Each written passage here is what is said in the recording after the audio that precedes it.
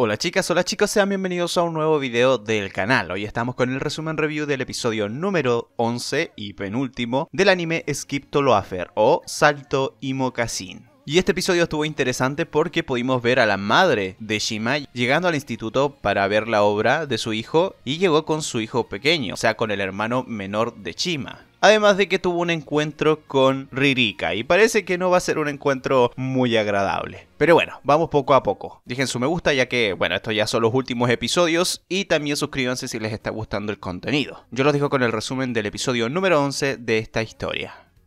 Comenzó la semana del festival, están todos muy emocionados, es el primer día y bueno, es muchísimo, muchísimo trabajo, pero eso no le quita ningún tipo de ganas de pasarlo a full de Mitsumi. La que no lo está pasando tan bien es Takamina, la vicepresidenta, ya que es muy estricta con todo lo que pasa para que todo salga bien. Y por su lado, el presidente, bueno, es un tipo más tranquilo, más sociable y se detiene en cualquier punto a hablar con estudiantes de otras escuelas, de otros institutos más pequeñas que quieren entrar a estudiar ahí. Y tienen dudas de si los exámenes son muy difíciles y todo eso. Y bueno, Takamina anda por ahí haciendo que todo funcione. La obra del salón de Mitsumi sale bastante bien. Obviamente, Shima es el que más se luce y parece que lo está disfrutando, ya que a la gente le gusta y es lo primero que nota también Mitsumi cuando llega a ver cuando ya la obra había terminado. Mika le pregunta a Mitsumi si acaso Nao-chan va a ir, pero no puede, ya que tiene una sesión de fotos. Y otra vez Mitsumi se da cuenta de la cercanía que tienen ellas dos, ya que, bueno, Mika le dice que se siguen por Pinsta. Pero bueno, no puede decirle mucho más, ya que ahí llegan amigas de la infancia de Mika. Y claro, Mitsumi después de esto se da cuenta de que todos sus compañeros son de ahí, son de Tokio. Tokio es su ciudad, entonces obviamente al festival van a llegar sus padres, sus amigos y sus conocidos.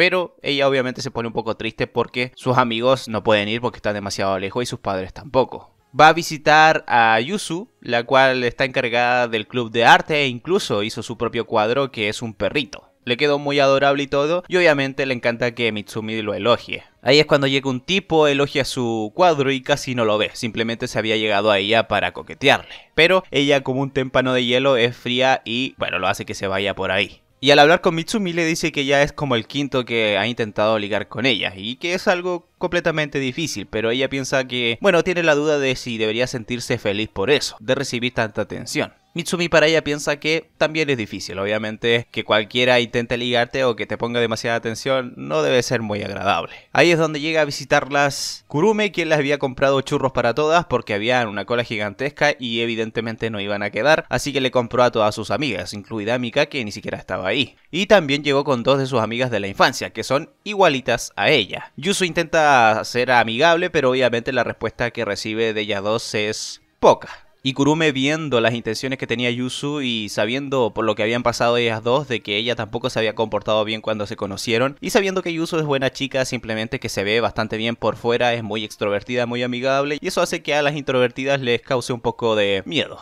Así que Kurume entra ahí a hablar con sus amigas y le dice que Yusu es buena amiga, que siempre le comparte libros y les muestra ahí su obra también que hizo. Y claro, eso fue un gesto muy muy bonito. Así es como al final las cuatro amigas se reúnen, le dan sus churros también a Mika y pueden ahí descansar un momento. Pero no tienen mucho tiempo para eso ya que tienen que seguir con sus labores en el festival. Y Yusu las detiene un momento para decirle que, bueno, que está contenta con sus amigas y además de que esos seis meses que han pasado parece que han sido mucho más. Y eso significa que ya su amistad está bastante bien cimentada. Y eso deja muy alegre a todas, sobre todo a Mitsumi que, bueno, no está su familia ni sus amigos de la infancia ahí para verla, pero al menos ya tiene a sus amigas ahí del instituto. Y eso hace que pueda disfrutar un poquito más del festival. Luego se va a sentar junto a la vicepresidenta y ahí llega la niña con la cual estaba hablando el presidente la cual estaba preguntando sobre los exámenes y si era muy difícil entrar al instituto. Y ella, bueno, simplemente le da las gracias a Takamine y le dice que por favor le dé las gracias también al presidente, porque la había dejado más tranquila con las cosas que le había dicho. Y Mitsumi le dice que es normal que haya ido a dar las gracias, ya que cuando las dudas de exámenes y todo eso te abruman, siempre es reconfortante cuando alguien te da una pizca de amabilidad. Takamine queda como, ¿en serio pasa eso? Y sí, es que ella es demasiado estricta con sus cosas. Y ahí mismo llega el presidente diciéndole que ya hay poca gente en la entrada y todo eso, así que por lo menos una podría ir a disfrutar del festival. Y claro, Takamine no está muy feliz con lo liviano de vida que es el presidente.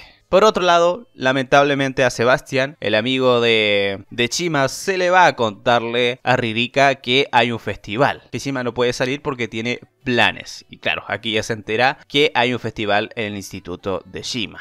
Pasamos al segundo día y la madre de Chima llega a la escuela pasando un momento por la entrada donde estaba Mitsumi, que todavía no lo sabe, pero acaba de conocer por primera vez a su probable futura suegra.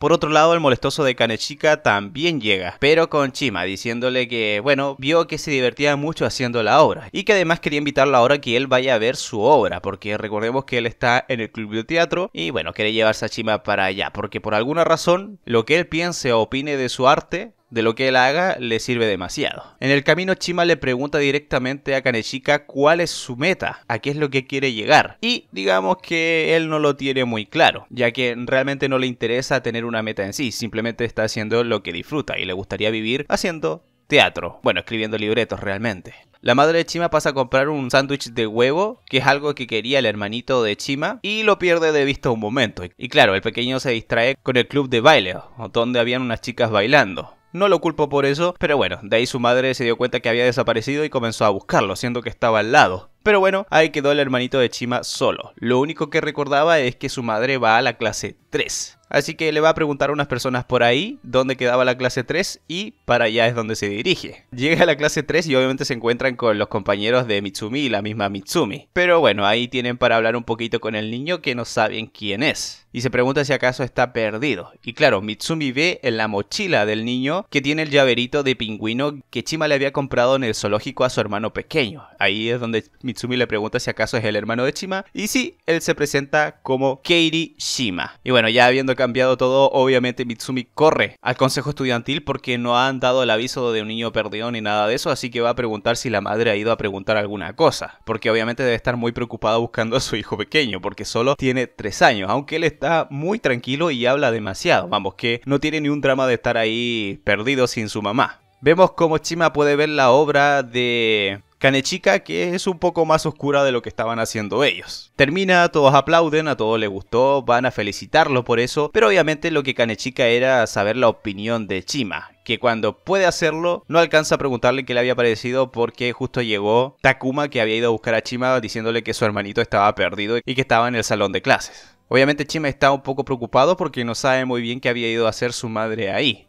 aunque si lo sabe, fue a ver su obra. Y en el camino por los pasillos hablando con Takamine le dice que no se preocupe porque su hermano tampoco es como que necesite mucho verlo, ya que no tienen mucho contacto, al final de cuentas son hermanastros. Aunque Takamine le hace ver que no sabe cómo puede pensar eso porque su hermano tiene 3 años y evidentemente qué niño de 3 años no va a admirar a su hermano mayor le dice que los niños se dan cuenta cuando sobran. Y es que cuando Chima está en la casa, digamos que Katie no se aparece demasiado porque evidentemente siente que molesta a su hermano. Y bueno, aquí Chima llama a su madre diciéndole que su hermano está bien y que está en el salón de su clase. Y su madre que estaba con Takabines en el centro de estudiantes, bueno, le dice que ya no pasa nada, que ya habían encontrado a su hijo. Y también ahí llega Mitsumi corriendo preocupada contándole que, bueno, lo mismo, que su hijo estaba en el salón de clases. Así que ellas dos se van tranquilamente de vuelta al salón y por su lado Chima llega al salón donde ve a su hermanito pequeño. Y Katie estaba ahí feliz de la vida, riéndose mucho con los compañeros de su hermano, totalmente tranquilo, pero una vez que lo ve, se coloca a llorar, obviamente aliviado de ya tener a su hermano o a alguien conocido cerca. Que si bien fue muy valiente, bueno, solo faltó que viera una cara conocida para que se largue a llorar y corra a las piernas de su hermano mayor. Una escena muy bonita y que hace que, bueno, que Chima se dé cuenta de que su hermanito obviamente le tiene aprecio y que es igual a él cuando era pequeño. Así que no le queda de otra que cargar a su hermanito y decirle que podían esperar a su mamá en el pasillo. Y vamos, esa escenita deja a todos bastante endulzados con el momento. Mitsumi iba llegando al salón junto a la madre de Chima, con la madre de Chima diciéndole que ahí son todos muy amables. Cuando, al cruzar una esquina, se aparece Ririka, y las dos se ven y no pusieron muy buenas caras. Así terminó el episodio número 11 de Skip to Loafer, el penúltimo episodio. Y bueno, quedó todo para que pueda ir a mal en el último episodio, porque no sabemos qué tipo de relación tienen ellas dos, o sea, la madre de Chima con Ririka. Tal vez no va a ser muy buena, por el problema que tuvieron alguna vez. Lo importante evidentemente es que Chima entendió su rol como hermano mayor y lo que causa en su hermanito pequeño, que aunque sea su hermanastro, obviamente él lo ve como su hermano mayor y como la figura obviamente más admirable. Pero bueno, ya veremos cómo termina esto en el próximo episodio que será el último. Díganme ustedes qué les pareció el episodio, dejen sus comentarios, suscríbanse y también sus me gusta, que eso ayuda un montón. Muchas gracias por ver y nos vemos en un próximo video. Bye.